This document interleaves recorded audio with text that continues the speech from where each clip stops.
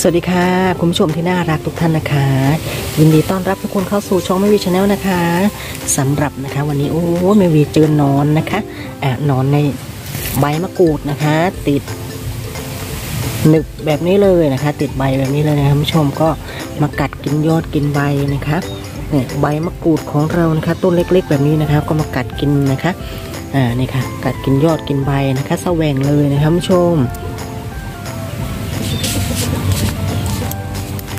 นี่เลยค่ะเจ้าหนอนตัวนี้เลยนะคะหนอนนี่เลย ตาแป๊วๆแบบนี้นะคะโอ้โหนี่เลยค่ะคุณชมนะคะหนอนเขากำลังกัดกินใบแบบนี้นะคะ ใบมะกรูดนะคะ ต้นมะกรูดต้นเล็กๆนะคะ ก็มากัดกินแสวงเลยนะคะ เพราะว่านะคะหนอนนะคะจะกัดกินยอดกินใบนะคะนี่เลยค่ะกำลังกินเลยนะคะ เพราะฉะนั้นวันนี้นะคะแม่วีก็จะมากำจัดเจ้าหนอนตัวนี้เลยนะคะ เพื่อไม่ให้มากัดกินใบต้นมะกรูดนะคะนี่ค่ะกำจัดได้ไม่ยากค่ะคุณผู้ชมเพียงแค่คุณผู้ชมนะคะ ใช้สูตรนี้เลยนะคะเดี๋ยวแม่วีจะมาแนะนำให้กับคุณผู้ชมใช้สูตรนี้นะคะ เราไปเริ่มทำพร้อมกันเลยนะคะคุณผู้ชมและสำหรับวัสดุอุปกรณ์นะคะแม่วีก็จะใช้นี่เลยค่ะคุณผู้ชม อันนี้จะเป็น น้ำหมักยาเส้นยาสูบผสมขานะคะอ่าแม่วีได้หมักไว้นะคะ แล้ววิธีการหมักนะคะ วิธีนี้นะคะอ่าแม่วีได้ทำไว้ในคลิปที่ผ่านมานะคะคุณผู้ชมสามารถเข้าไปดูได้เลยนะคะ แล้วสำหรับนะคะยาเส้นยาสูบนะคะก็อ่าจะช่วยไล่มดไล่แมลงนะคะ ไล่เพี้ยนะคะอ่ากำจัดนอนกัดกินใบนะคะ ได้เป็นอย่างดีเลยนะคะ เพราะว่านะคะกลิ่นของนะคะ ยาฉุนนะคะ แล้วก็ขานะคะก็จะทำให้อานอนของเรานะคะ หนีไปนะคะ แล้วฤทธิ์ฤทธิ์ความร้อนแรงของขาแล้วก็ยาเส้นยาสูบนะคะ ก็จะทำให้นอนของเรานะคะ ตายได้ในที่สุดเลยนะคะ ต่อไปจะเป็นมะกรูดนะคะสำหรับมะกรูดนะคะ ก็จะมีสารหอมระเหยนะคะ ตรงเปลือกนะคะนี่ค่ะสารหอมระเหยนี่นะคะก็จะช่วยนะคะ ไล่เพี้ยนะคะ ไล่มดนะคะคุณผู้ชม แล้วยังจะมีความเปรี้ยวนะคะ ความเปรี้ยวในตัวของมะกรูดนะคะ ซึ่งจะทำให้มดเพลี้ยแมลงนะคะหนีไปได้เลยนะคะผู้ชม ต่อไปจะเป็นอันนี้จะเป็นน้ำยาล้างจานนะคะ น้ำยาล้างจานก็จะเป็นสารจับเกาะจับใบนะคะช่วยในการกำจัดไล่มดไล่แมลงไล่เพี้ยไล่หนอนนะคะ ได้เป็นอย่างดีเลยนะคะ แล้วที่สำคัญนะคะก็จะมีนะคะ อันนี้ก็จะเป็นน้ำหมักนะคะ น้ำหมักฝักคูนนะคะคุณผู้ชมนะคะก็จะเป็นลักษณะนี้นะคะ น้ำหมักฝักคูนนะคะไม่วีได้ทำไว้แล้วนะคะ ในคลิปก่อนเช่นเดียวกันนะคะาสามารถเข้าไปดูได้เลยนะคะ น้ำหมักฝักคูนนะคะ ก็จะสามารถนะคะกำจัดนอนนะคะนอนกัดกินใบนะคะ พวกนอนกระทู้นะคะ พวกเพลี้ยมดแมลงนะคะศัตรูพืชต่างๆนะคะ ที่มารบกวนต้นพืชนะคะ แล้วก็จะมีน้ำเปล่าหนึ่งลิตรนะคะ และสำหรับอัตราการใช้นะคะ น้ำเปล่าหนึ่งลิตรนะคะอ่าน้ำหมักฝักคูณเลยค่ะ ตักไปเลยนะคะหนึ่งช้อนโต๊ะเลยนะคะ แบบนี้เลยนะคะอ่าแล้วก็จะมีนะคะน้ำหมักยาเส้นยาสูบแล้วก็ขานะคะใส่ไปเลยนะคะหนึ่งช้อนโต๊ะเช่นเดียวกันนะคะ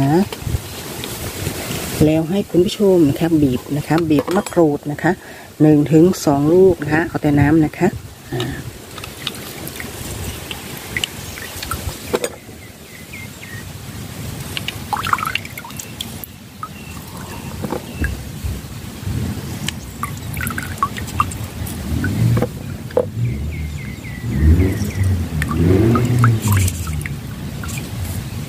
จากนั้นให้คุณผู้ชมนะคะเติมนะคะ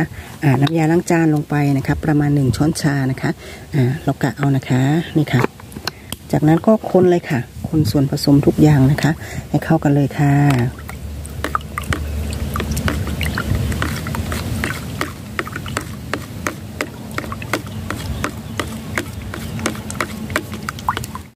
จากนั้นเราก็นำมาใส่ที่ฉีดพ่นเลยนะคะ เพื่อที่เราจะนำไปฉีดพ่นนะคะกำจัดหนอนกัดกินใบนะคะ คุณผู้ชมนี่ค่ะ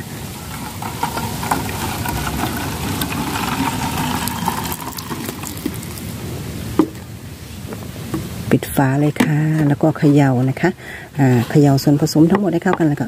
นำไปฉีดพ่นเลยค่ะกำจัดนอนกัดกินใบเพลี้ยมดแมลงนะคะไม่วีก็ใช้นะคะ สูตรนี้นะคะฉีดพ่นไปเลยนะคะ ให้โดนตัวหนอนเลยนะคะชมนะคะฉีดพ่นไปสักพักนะคะโดนนอนของเรานะคะ ก็จะเกิดอาการนะคะ แล้วก็หนีแล้วก็ตายไปได้ในที่สุดเลยนะคะชมนะคะฉีดพ่นให้ทั่วเลยนะคะ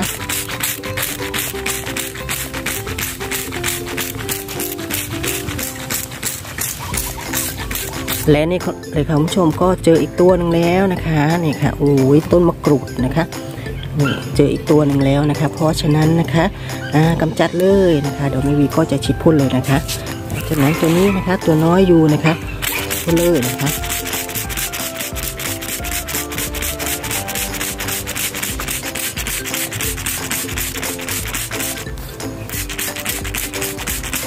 เดี๋ยวสักครู่นะคะ ก็จะเกิดอาการนะคะคุณชมก็ฉีดพ่นให้ทั่วเลยนะคะ ป้องกันเลยค่ะ เดี๋ยวเจ้าหนอนจะมาอีกนะคะ เราก็ฉีดพ่นป้องกันเลยนะคะ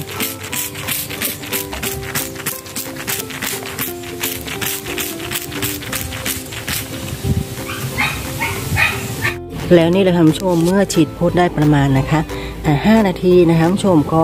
หนอนก็ตายแล้วนะคะนี่ค่ะ นี่ตายเลยนะคะ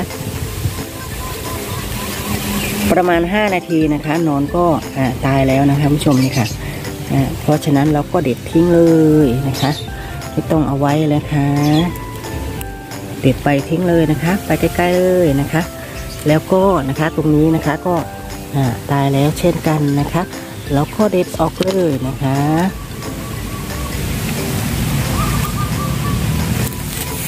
อ่าแล้วนี่นะคะคุณผู้ชมแม่หวีก็ได้กำจัดด้วยสูตรนี้นะคะนอนก็ตายแล้วนะคะคุณผู้ชมนี่ค่ะค่ะและสำหรับสูตรนี้นะคะคุณผู้ชมก็ลองนำนะคะ ไปกำจัดนอนนะคะ มดแมลงเพลี้ยในต้นพืชนะคะนอนกัดกินใบนะคะ แบบนี้นะคะคุณผู้ชมก็ใช้สูตรนี้เลยนะคะ เพื่อที่จะกำจัดนอนนะคะกำจัดศัตรูพืชต่างๆนะคะ ที่มากัดกินใบ ของต้นมะกรูดหรือว่ามะนาวนะคะคุณผู้ชมนี่ค่ะค่ะและสำหรับคลิปนี้นะคะแม่วีขอขอบคุณทุกท่านนะคะ ที่รับชมคลิปจนจบนะคะ ถ้าคลิปนี้มีประโยชน์คุณผู้ชมชอบนะคะ ก็อย่าลืมกดไลค์กดแชร์กด subscribe กดติดตามแม่วี channel นะคะ แล้วพบกันคลิปหน้านะคะ ขอบคุณค่ะ สวัสดีค่ะ